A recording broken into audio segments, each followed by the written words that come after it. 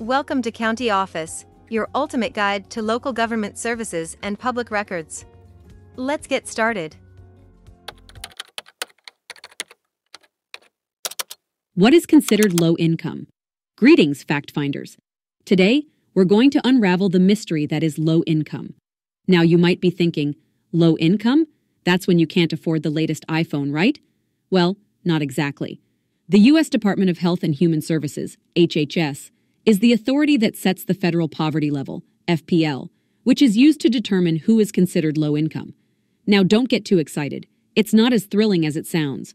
The FPL is calculated based on the number of people in a household. So, if you're living alone, the FPL is different than if you're sharing your abode with a family of five. In 2021, for a single individual, the FPL is set at $12,880. If you're a family of four, it jumps to $26,500. Now, to be considered low income, your household income must be at or below 200% of the FPL. So, if you're a single person earning $25,760 or less, you're considered low income. For our family of four, it's $53,000. But wait, there's more.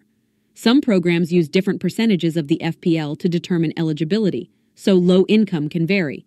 It's like a choose your own adventure book, but with less dragons and more tax forms. So there you have it, the riveting world of low income. Remember, knowledge is power, and you're now armed with some powerful information.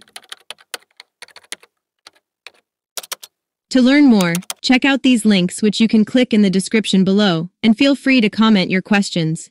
We're here to help. Thanks for tuning in to our video. Please like and subscribe, and leave a comment below. See you in the next video.